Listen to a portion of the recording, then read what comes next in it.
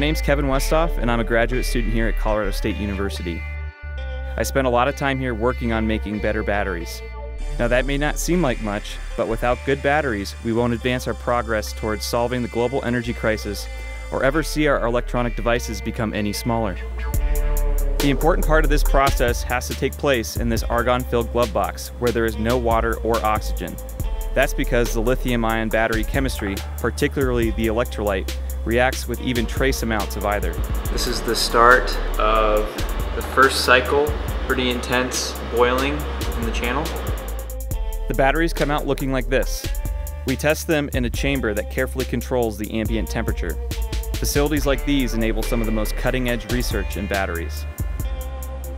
I started working in this lab because my advisor has tremendous interest in solving difficult thermal problems in many different industries.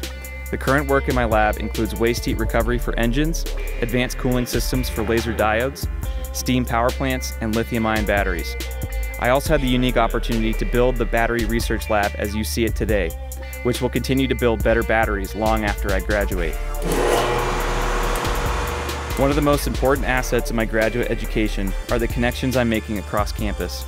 In my case, with professors in the chemistry department who are also working on designing their own next generation batteries.